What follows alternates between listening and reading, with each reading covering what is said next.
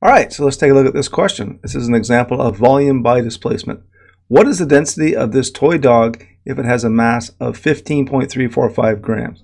So let's first remember that density equals mass over volume. Well, mass in this question is easy. It's written right here. The question is, what do we put down here for volume? Here's our little toy dog. Let's call him Frank. Frank is outside the graduated cylinder, so we have to get the initial volume and the final volume. V object equals VF minus VI. So let's measure. Initial volume, VI, equals 28.0. And if we take a look at the meniscus when Frank is placed inside the graduated cylinder, 38.9 milliliters. And that's VF. Calculate V, uh, v object equals 10.9 milliliters and that will be placed here equals 1.41 grams per milliliter.